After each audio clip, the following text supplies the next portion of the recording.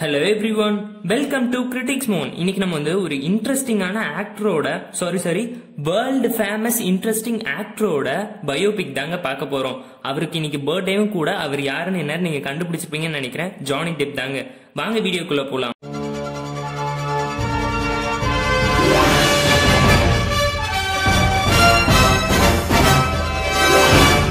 Johnny Depp அமெரிக்காவில் இருக்கக்கூடிய மிகப்பெரிய ஆக்டர்ல அவரும் ஒருத்தர். அவரோட டேட் ஆஃப் பர்த் எப்பன்னு பாத்தீங்கன்னா nine June nineteen sixty three தான். ஜானி டெப்போட உண்மையான நேம் என்னன்னு பாத்தீங்கன்னா John Christopher Depp the second அமெரிக்கால இருக்கக்கூடிய ஓவன்ஸ் ப்ரோக்கும் ஜான் கிறிஸ்டபர் டெப்க்கும் பிறந்த நாலாவது பையன் தான் ஜானி டெப். அவரோட குழந்தை பருவத்தில் அவர் ஒரு இடத்துல நிலையா இருந்ததே கிடையாது. ஏன்னா ஃபேமிலி சுச்சுவேஷன் காரணமா டுவெண்ட்டி ஸ்டேட்ஸ் டென் இயர்ஸ்குள்ள மாறிக்கிட்டே இருந்தாங்க.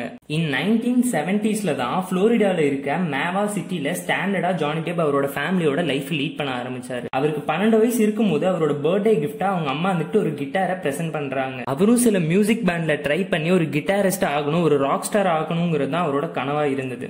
அவரோட வாழ்க்கை கொஞ்ச நாள் நல்லா போயிட்டு இருந்தாலும் இன் நைன்டீன் செவன்டி எயிட்ல அவங்க அப்பா அம்மாக்கு டிவோர்ஸ் ஆகுது. சோ அவரால் ஸ்டடீஸ்ல ஒழுங்கா கான்சென்ட்ரேட் பண்ண முடியல. அதனால ஸ்கூல்ல டிராப் அவுட் பண்ணிட்டு ஒரு மியூசிக் பேண்ட்ல ஜாயின் பண்றாரு. மியூசிக் பேண்ட்ல ஜாயின் பண்ணி ஒரு டூ வீக்ஸ் கழிச்சு தான் அவர் ரியலைஸ் பண்றாரு. நமக்கு ஸ்டடீஸும் நம்ம லைஃப்ல முக்கியம் அப்படின்னு சொல்லி திரும்ப அந்த ஸ்கூல்ல போய் ஜாயின் பண்ண போறாரு.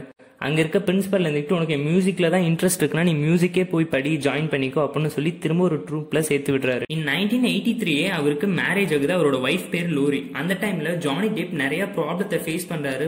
அந்த டைம்ல ஜானி டேப் வந்து ஒரு டெலி மார்க்கெட்டிங் கம்பெனில ஆங்கரா ஒர்க் பண்ணிட்டு இருந்தாரு. அந்த சேனலுக்கு சீஃப் கெஸ்டா வந்திருந்த நிக்கோலஸ் கேஜ் தான் அவரை என்கரேஜ் பண்ணி நீங்க மூவிஸ்லாம் ட்ரை பண்ணுங்க. உங்களுக்கு பிரைட் ஃபியூச்சர் இருக்குன்னு சொன்னாரு. ஸோ அதை தொடர்ந்து அடுத்த வருஷமே அவர் ஒரு படத்துல நடிச்சாரு. அவரோட ஃபர்ஸ்ட் படம் in nineteen eighty four the night man on the healthy street அதுல வந்து அவருக்கு ஒரு சின்ன ரோல் தான் கொடுத்திருப்பாங்க. ஹீரோயினோட பாய் ஃப்ரெண்ட் ரோல் தான் கொடுத்திருப்பாங்க. ஒரு மூணு வருஷம் கழிச்சு நைன்டீன் எயிட்டி செவன்ல ஃபாக்ஸ் டிவி சீரியஸ்ல டுவெண்ட்டி ஒன் ஜெர்ம் ஸ்ட்ரீட்டுங்கிற சீரியல்ல ஒரு மெயின் ரோல் பண்ணியிருப்பாரு. அப்ப இருந்த டீனேஜ் பசங்களுக்கு எல்லாம் அவர் தான் டீனேஜ் ஹீரோவா வளம் வந்தாரு. இன் நைன்டீன் நைன்டிஸ் வரைக்குமே அவர் டீனேஜ் ஓரியன்ட் மூவிஸ் மட்டும் தான் பண்ணிக்கிட்டு இருந்தாரு. First time director Tim Burton எட்வினோட டைரக்ஷன்ல சிசர் ஹேண்ட்ஸ்ங்கிற படம் பண்றாரு. அதுக்கப்புறம் மிகப்பெரிய ஸோ அதுக்கப்புறம் ஒன்லி சீரியஸ் ரோல்ஸ் செலக்ட் பண்ணி நடிக்க ஆரம்பிச்சாரு.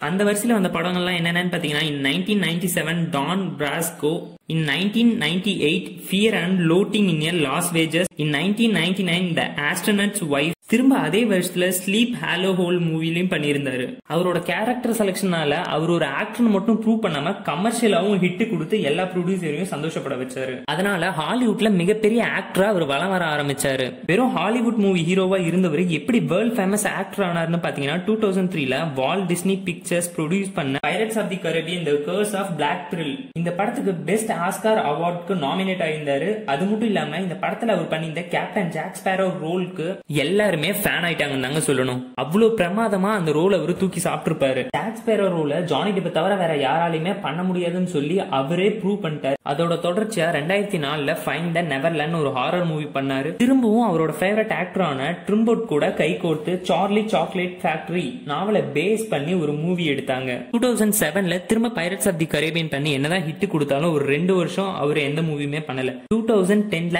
ஆலிஸ் இந்த வண்டர்லேண்ட் சொல்லி ஒரு காமிக் பிலிம் பண்ணி எல்லா குழந்தைங்களுக்கும் ஃபேவரட் ஹீரோ ஆனாரு again two thousand லெவன்ல pirates of the Caribbean two thousand தேர்ட்டீன்ல loan ரிஜன்ங்கிற மூவி பண்ணி செம்ம ஹிட் அடிச்சாரு. ஹாலிவுட்ல பேரடைஸ்டு ஆக்டர்னு ப்ரூவ் பண்ணாரு. ஒரு மூணு வருஷம் கழிச்சு திரும்ப டூ தௌசண்ட் சிக்ஸ்டீன்ல ஃபென்டாஸ்டிக் பீட்ஸ்ங்கிற மூவில தான் திரும்ப ரீஎன்ட்ரி கொடுத்தாரு.